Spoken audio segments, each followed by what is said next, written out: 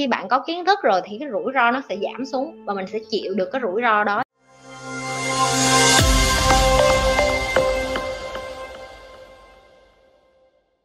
Chị nhớ trước khi trở thành nhà đầu tư, chị cần bao nhiêu vốn để được như bây giờ? Cái vốn đầu tiên là em đầu tư vô trong em đó em tại vì cái đầu tiên như chị nói, chị hay nhấn mạnh với các bạn này này các bạn cứ nói là, chị, bây giờ em có một cục tiền, chị chỉ em đầu tư đi. Thì chị sẽ trả lời với em là, em đầu tư vô chính em đi. Tại vì bây giờ em không có kiến thức, em còn hỏi chị lại, chị, em nên đầu tư vô cái gì? Chứng tỏ là em còn không có tự tin với cái đồng tiền của em. Chị muốn em là người quyết định em bỏ tiền vô đâu.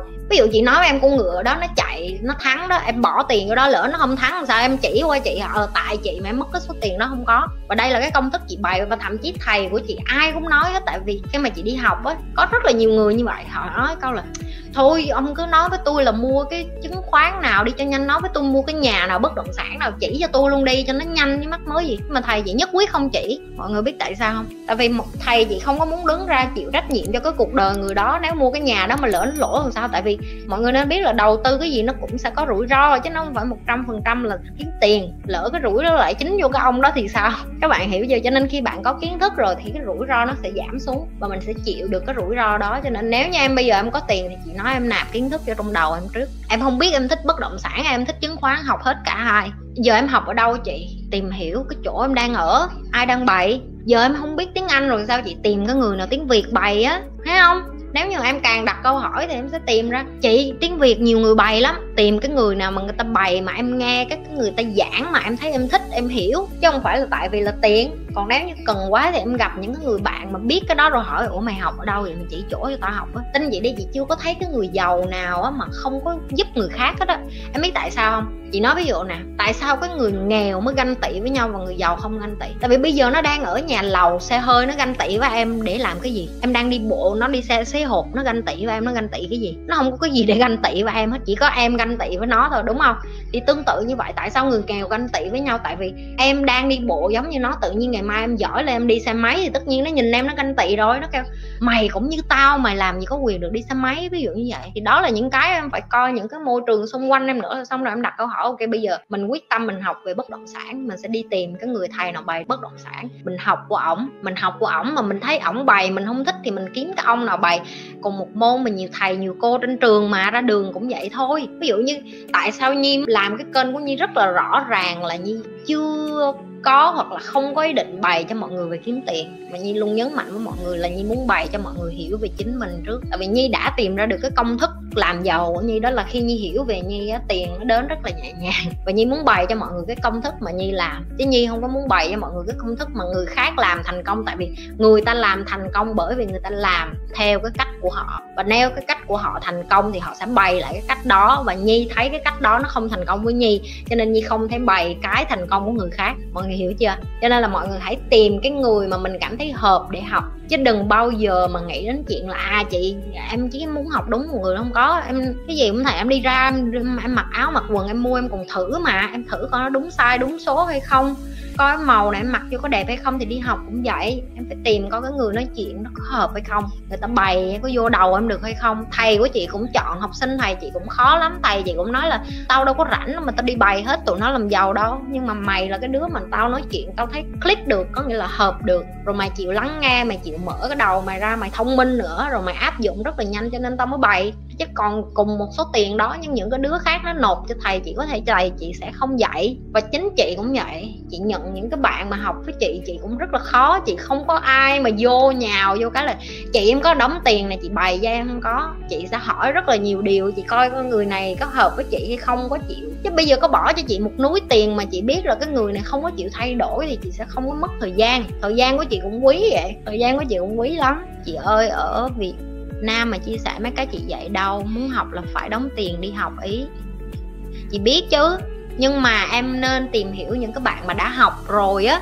Em có cơ hội mà, ví dụ như em thấy bạn nào mà học bất động sản hay học chứng khoán mà em quen á, em hỏi, ủa, mày học thầy nào rồi? Bày sao rồi, nghe người ta, tại vì cái phản hồi từ những cái người học rồi hoặc là người ta cho em thấy người ta có thành công hay không thì cũng là một cách hiểu không? Em phải trải nghiệm. Chứ còn chị không thể nào mà chọn thầy cho em được. Nợ tốt và nợ xấu là gì chị ơi? Ok. Đầu tiên á, mọi người phải hiểu được nợ nó là một cái từ nói về cái chuyện tiền đó là không phải của mình, hoặc là cái tài sản gì đó không phải của mình, hay là bất cứ cái gì đó, nó không thuộc về mình và mình mượn của một ai đó để mình dùng.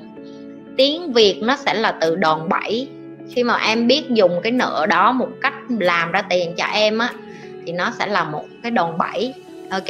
Nhưng mà khi mà em lấy cái nợ đó mà em không có làm ra tiền từ nó mà mỗi tháng em vẫn phải trả nợ, quăng đích ra em trả nợ thì đó gọi là nợ xấu, ok? Ví dụ nợ tốt là cái gì? Nợ xấu là cái gì? Nợ xấu tức là những cái nợ mà ví dụ em mượn tiền người ta xong em đi mua xe nè, em mua đầm, em mua váy, em mua bóp tiền, em mua xế hộp, em mua nhà lầu, em mua xe hơi, em mua cái này cái kia để em em cung phụng cuộc sống của em ok trước mặt mọi người thì em người ta tưởng em giàu nhưng mà thật ra không có sau lưng em nợ ngập mặt. Rồi xong mỗi tháng em cứ mượn từ người này em trả qua người kia nhưng mà dù em có nợ em có mượn đi bao nhiêu đi chăng nữa em cũng không có đắp hết được cái số nợ đó rồi, rồi, rồi nó thể nào nó cũng banh phanh phui ra hết. Cái nợ mà hàng tháng em vẫn phải trả cho người ta thì đó gọi là nợ xấu. Mọi người đang có cái nhà mà mua trả góp mọi người biết cái đó là đang là nợ xấu không? Mọi người sẽ nói như là chị đó là tài sản mà không? Nó là tiêu sản. Nhà em mua mà em không mở, mà em đi cho thuê mỗi tháng em trừ cái tiền nhà mà trả lãi ngân hàng ra em còn lời được, ví dụ như em lời đừng triệu. Ví dụ cái nhà đó, chị nói sơ sơ, ví dụ mỗi tháng em cho thuê cái nhà 5 triệu. Nó ví dụ thôi nha, không biết bữa nay tiền thuê nhà ở Việt Nam 4 triệu trả nợ ngân hàng, còn lại một triệu. Tháng em có một triệu đó em cầm trong tay, đó là nợ tốt. Em nợ ngân hàng nhưng mà em thu lại tiền lời. Ok? Nợ xấu nè, em mua một cái nhà, tháng em trả lãi cho ngân hàng 4 triệu, ok? Em trả điện, nước nét trong nhà, tiền nuôi con này kia kia nọ nữa lên tới 8 triệu, đó là nợ xấu. Em có một cái nhà nhưng mà em phải nuôi cái nhà, ok? Và em ở trong cái nhà đó từng giây, từng phút em phải thở với cái nhà đó. Thì em đang nuôi nó, thì đó là nợ xấu. Chưa phân biệt nợ nợ xấu, nợ tốt chưa? Cái đơn giản vậy thôi nợ xấu, nợ tốt là một cái rất là đơn giản. Rồi giờ mọi người ngồi xuống ghi hết lại tất cả những cái thứ mình có trong nhà. Thậm chí áo, quần, giày, dép của mình mọi người sẽ tự biết là một ngày mình đang mua bao nhiêu thứ nợ xấu ở trong người mình. Một ngày mình đang mua bao nhiêu thứ tiêu sản ở trong người mình và một ngày mình có được bao nhiêu thứ tài sản? Hay là nếu như cái con số tổng cộng của bạn là mình có không, có một cái tài sản nào hết và toàn bộ mình là tiêu sản, thì đó là một cái hồi chuông cảnh báo cho các bạn là các bạn cần phải nạp kiến thức về tài chính. Nó sẽ ảnh hưởng đến tương lai của bạn rất là nhiều. Ngay cả cái việc mà bạn cầm đồng tiền nhiều bạn nói, em biết tiền mà chị bạn biết nó là cái tờ giấy, nó có hai mặt rồi, nó có cái ông đó rồi, vậy thôi. Nhưng mà bạn có hiểu cái cách đồng tiền nó vận hành, mở cái cách cách đồng tiền nó vô ra như thế nào hay không? Cái đó nó rất là nguy hiểm. Đừng có quên là like, share và subscribe cái kênh youtube của nhi. Đừng có quên là like, share, subscribe hết tất cả các kênh khác trên nền tảng xã hội khác. Rồi những các bạn muốn tìm hiểu thêm về cái chuyện học cá nhân với nhi, có thể nhấn đôi vô đường link. Không muốn học cá nhân với nhi, học trực tiếp ở đây thì tiếp tục học muốn học với thầy nhi cũng vô đường link luôn. Muốn tham gia nhi lê team cũng vô đường link luôn. Tất cả những đường link thì under the description, tức là dưới cái không mô tả đó. Không mô tả khúc bên này không mô tả, nhấn vô cái không mô tả.